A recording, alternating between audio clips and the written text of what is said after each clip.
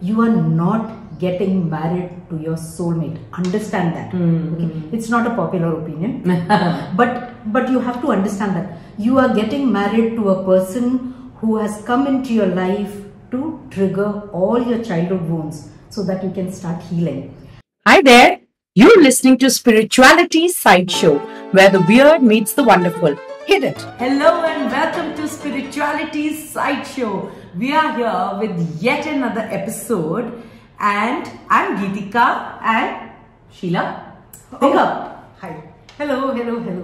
What were you dreaming about? The same thing that the entire world dreams of unicorns, rainbows, Prince Charming. Sheila, you're not 10. I'm not dead either, right?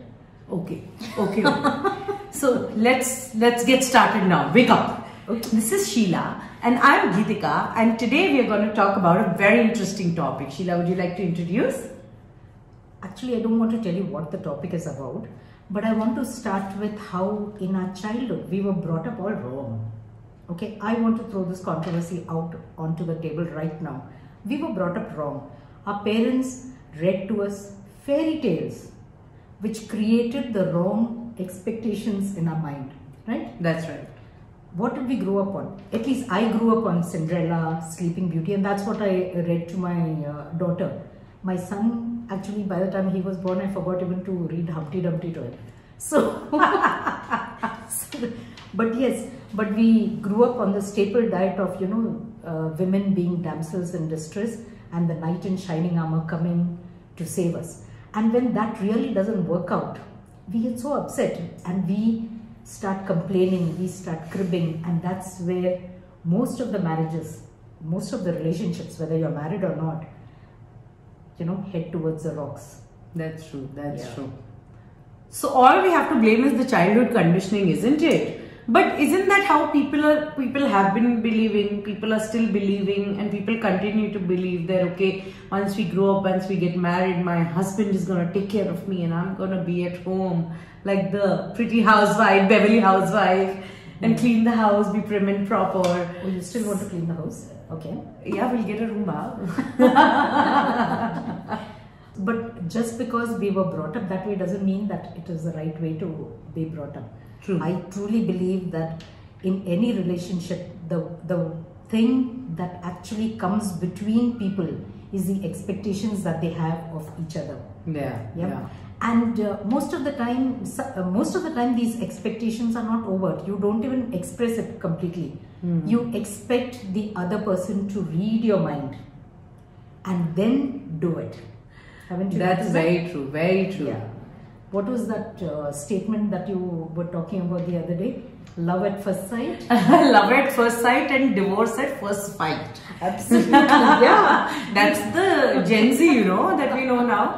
That everybody is just so fast paced and you do it my way or the highway.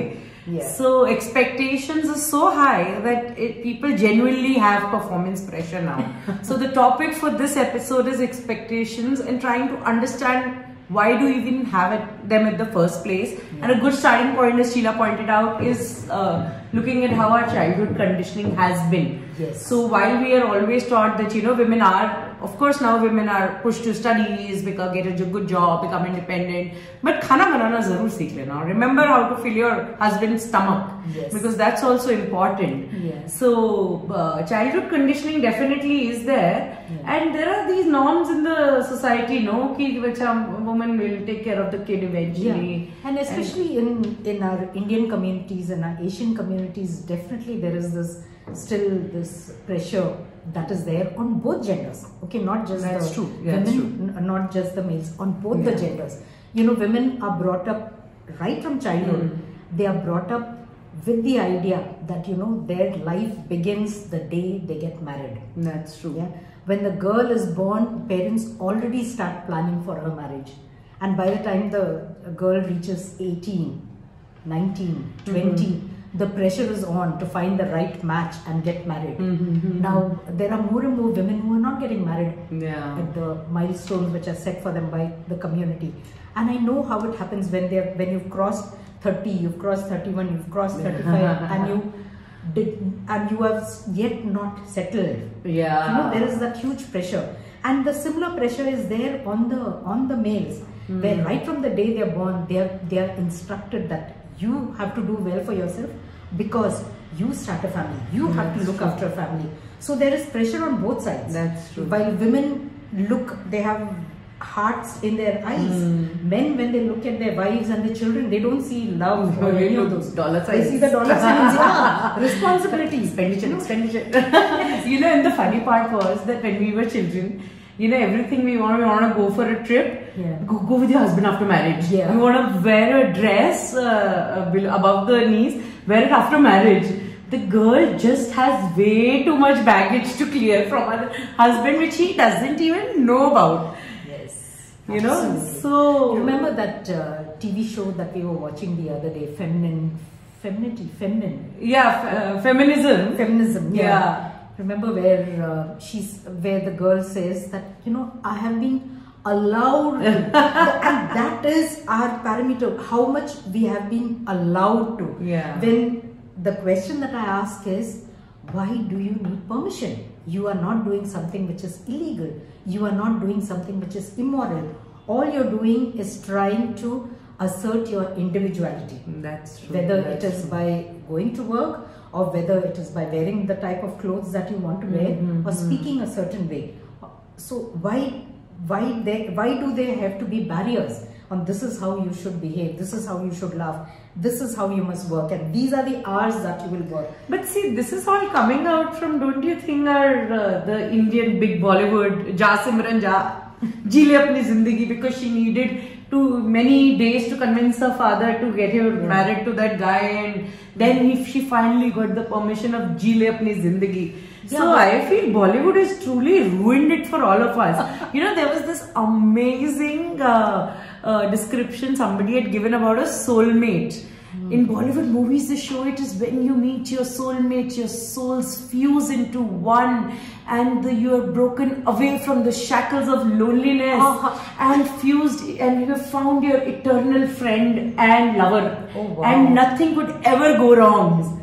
It only goes wrong three months three months if at all that long after marriage when the toilet seats are put up or there is a wet, Wet toilet towel on the towel bed. on the bed. Yeah. We've all had that one. Okay, I think there is no doubting that wet towel is the biggest enemy in Yes. a marriage. yeah. That's why I used to love uh, staying in hotels. When we used to go for staycations and when we stay on hot- in hotels, it is really nice. Put your put your towel wherever you want. I don't care at all because I don't have to clear up. Yeah, but that wet towel and the toilet seat being put up, put down, that is one of the biggest, biggest, Yeah, I yeah. think, uh, axis which fall into a marriage. That's true. Yes. And then how does the soulmate thing work out? Uh, not not the souls don't fuse well. yeah. Yeah, because somewhere we start believing through these movies and everything where they don't show what happens after the marriage. We start believing that you know the minute two people soulmates meet, they change for life. They have no flaws anymore. People have absolutely zero flaws and they are just blending perfectly like a zigzag puzzle. And you know, this this is something that I tell most of the people who come to me for pre-marriage uh, counseling, and that is that when you're getting married, you are not getting married to your soulmate. Understand that. Hmm. Okay? It's not a popular opinion, but but you have to understand that you are getting married to a person who has come into your life to trigger all your childhood wounds so that you can start healing. Marriage or any kind of relationship for that matter we are not just talking about romantic relationships even relationships between parents and children. Yeah, yeah, yeah, between your friends relationship between colleagues your bosses or the people that you meet. Every relationship is in your life. That person is in your life to trigger your ch- uh, to trigger the wounds True, which have been suppressed so that they can now be healed. But we don't understand that. We don't understand that and we sit in our victimhood saying that you know he should have understood or she should have understood why why See, is this is such a clear gap of building a direct channel of communication between Absolutely. all people. I have seen friends who say that I said fine, and I didn't say fine. Why didn't he understand that I was not fine? and I was like, fine, I get it. Yeah, but that is to do with communication because we've never learned how to communicate to each other. Whether it is to whether it is to our children, whether it is to to our partners, whether it is to our friends. The, I think the only really good relationships that we have are with our childhood friends. Mm, that's true. Don't you? That's true. That's true. Yeah. Absolutely. and especially because there there is zero judgment they have seen us through all the foolishness that we did in our childhood Hmm. right and uh, They've seen us grow as people, you know, Yes. and they've seen us at our Yeah. best and Yeah. the worst. And- also the choices that we made, they hmm. knew the reasons for that. For however foolish or however smart. yes and i think also at some level in our heads when we meet our childhood friends we go to that that age where we first met them hmm. whether it was 5 whether it was 6 Yeah, whether true. it was 14 whatever we reach that and at that that age we have no judgment about each other. Of course there will be fights. Of course there will be a whole lot of other things but there is no judgment. And more than judgment there is no expectation. Right. there's right. no expectation that you have to behave a certain way or i have to behave a certain way which is why those relationships i found are really beautiful. And we can learn from that and put it into the relationships which are more uh, where there are more fights. But that's all. But Sheila, tell me, think of this that when you're partners, you're living with each other every day, so you have the Tolia situation every day. Plus, also a lot of your actions uh, are dependent on other person's behavior or their decisions that they make. For example, you know, people have fights on financial issues that okay, why didn't you save this month? We were planning for a trip, blah blah blah blah. So uh, that expectation is healthy, right? I mean, people should plan their finances together. People should be able to, you know, plan life. ki- Do you want kids or not, and so on Yeah. and so forth. that has nothing to do with expectations that has to do with communication and uh, a matching of your values Right. so if there is a value match obviously that relationship will grow and glow Mm-hmm. Yep. But along with the value match, what we do is there are these unexpressed expectations which come in. Now let's take the example of parents. Yeah. You know that there are about three or four different kinds of parents. Yeah. You have the first set of parents who are really very controlling, right? Yeah. Yeah. They the child, not not just the child. If if it's a man who is very controlling, then no one in the family can take a step without the permission of, Of the head of the head of the family, yeah, family. yeah. It can be a man, it can be a matriarch. It, it doesn't matter. Hmm. One of those people who control the movements of each and everyone. I have friends who also who live in a family, in joint family, and who are really well off, Right. and yet they do not have even ten thousand rupees as spending money because Oh if they have to take money from them they have to ask permission there are various levels Mm-hmm, of red tapeism which goes on in family. Where you have to go to, to get let's say 5000 rupees 10000 rupees. And you are not allowed that freedom of money because the money Mm-hmm. belongs to the family. Similarly there are various other issues here. Now that is one set. I've told you this is what you have to study. This is what you will study. Whether you i don't care whether you want to sing. I don't care whether you want you love playing the guitar right now you have to be an engineer or you have to do economics or whatever.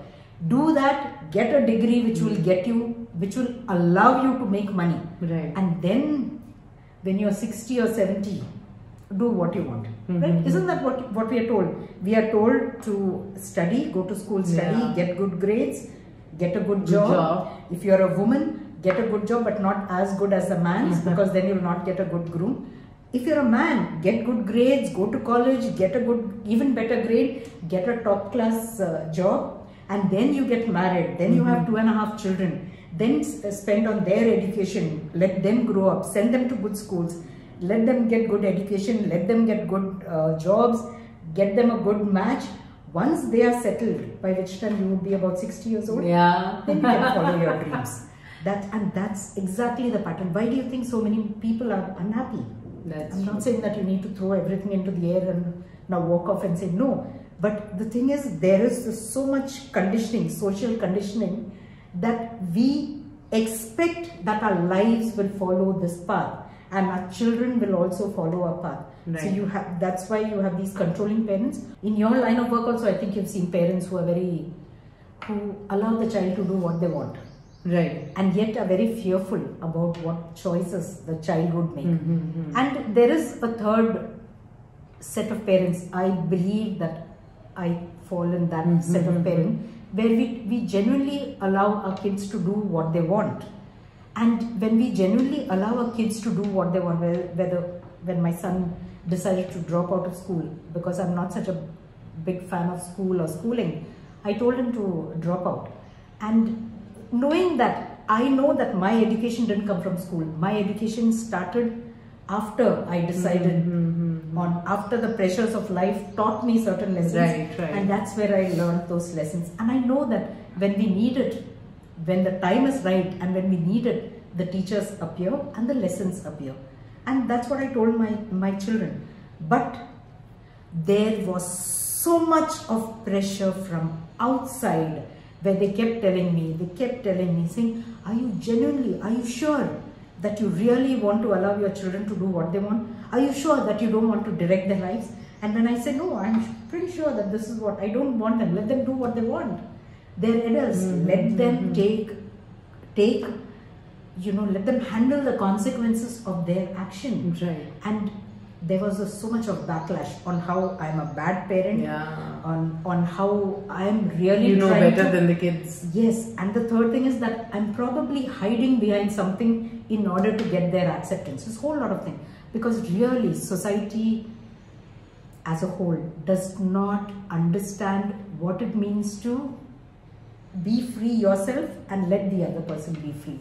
And you know, Geetika, you've had such a struggle. Your journey, it's been quite inspiring how you found your way till here now, right? And it's not been easy, right? Yeah, that's true. And uh, and here I had the I had a mix of the second and the third kind of parents who were really trying to allow you to do what they want because they understand that that's what was required for this generation that they were raising but they had so much baggage that they were carrying. And of course the pressure of people around that why is she why is your daughter leaving a high paying job? And why does she need to follow something and work in an ngo work with children hmm. that she can do over the weekends and so on? And the problem is that the repercussions of that were such on the child which is me is that i it took me so much more time to garner the clarity that i needed in my life to go along Yeah. that I would have, if probably if supported, I mean, see, it's a journey, but probably if supported, I always feel that, uh, you know, I would have crossed this bridge much faster and gone through a much uh, uh, more stronger educational way. Maybe I would have studied further in the field instead of doing jobs and trying to earn Yeah. money because I was trying to compensate for the job that I left. Now, problem is not that my parents were not supportive. They were just fearful. Hmm. Right? So the second type of parents, they wanted me to be, but they were very fearful. But eventually also they understood that, you know, you can't really tie your kids. Yeah. If they're really insisting, it's the way they want to be and you have to eventually allow them to follow their do purpose. you, do you do you realize what's happening here? You know, the entire world now talks about being your authentic self. Yeah. And being your authentic self is quite a struggle now. Yeah, absolutely. It's become very Yeah. painful, and especially with. I thought that the neighbor auntie or my own relatives were, uh, you know, uh, people who were really pushing us, were, were the social norm creators. Yeah. But look at social media. It's become another platform where the people who don't even know you or the people you don't even know are coming out and judging you, passing comments on your videos, on your content, on your thoughts. Yeah. And even bogging you down, a lot of people just shut their ideas. So many companies that open up with a very unique idea might just need some fine tuning. Nobody is perfect in the beginning, but they're shut down because they don't get enough encouragement. It's not just encouragement. See, uh, now if you're talking about social media, you can't blame everything on social media. You also have to look at what is your relationship with that social media. Yeah. Because we don't feel adequate enough. That's true. We look at that as a judgment or we look at True. that as a value system that we have to follow. So we look at other airbrush pictures and then we wonder why our camera does not have the same filters.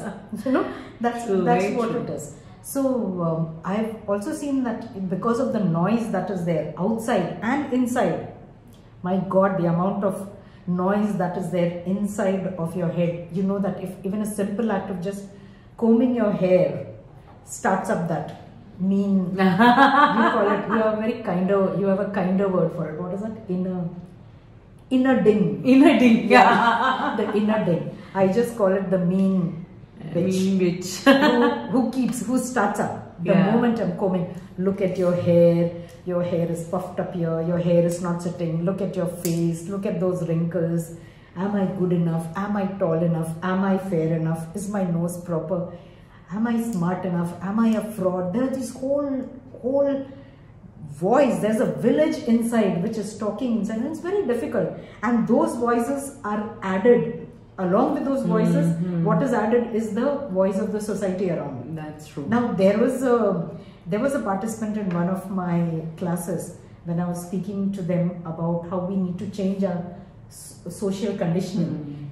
Uh, i think she said but what can i do? The people they do it the one thing that we forget is that the society is made of people and as you start changing that world around you starts changing Correct. You uh, even I think in one of the uh, workshops you were having with you over the weekend, you were talking about your workshop was about abundance. So she was Yeah. telling us that tell me the name of five people that you hang out with, and I'll tell you how much is your income going to be.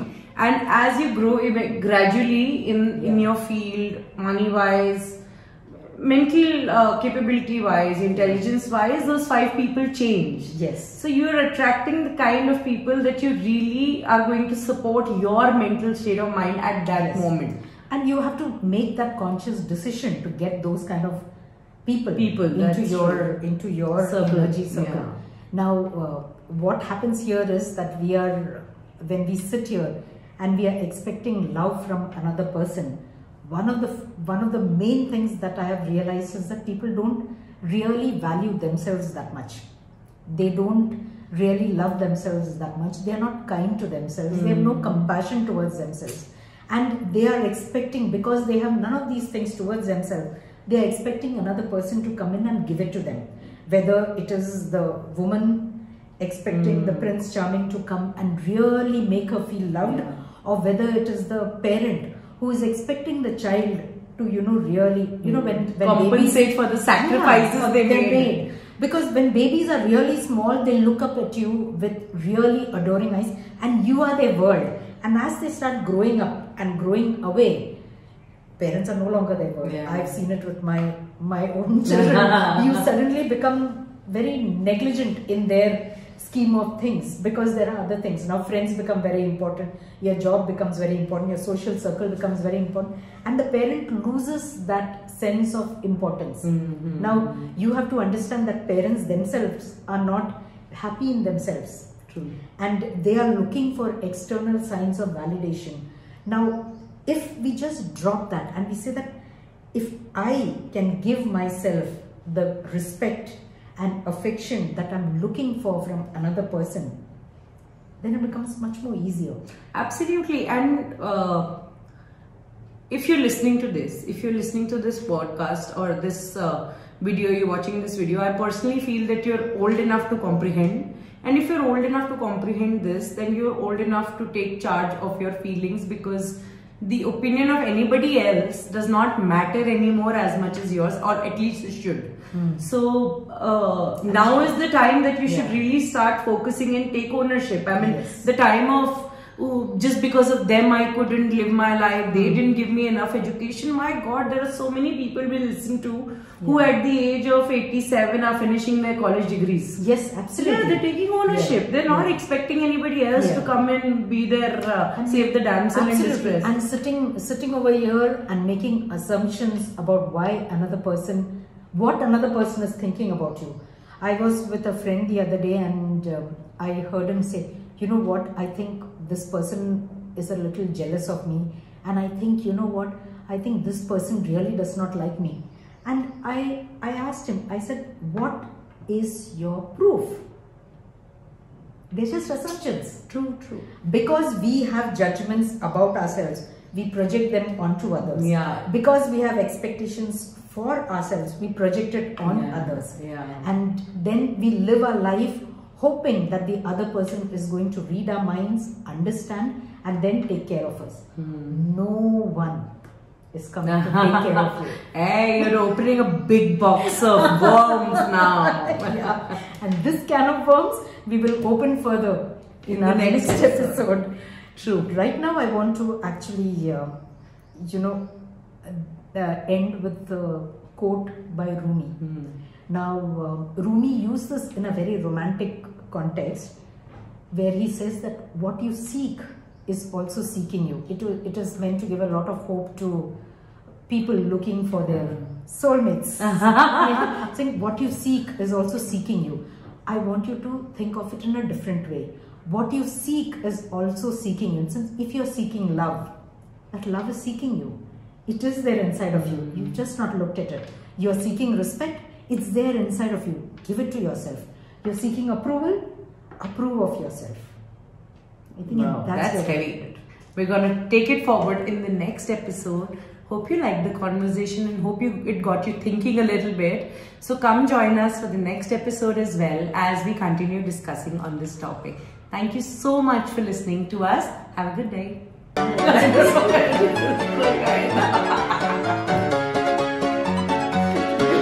Start again. Now it's great. It's like- it's just-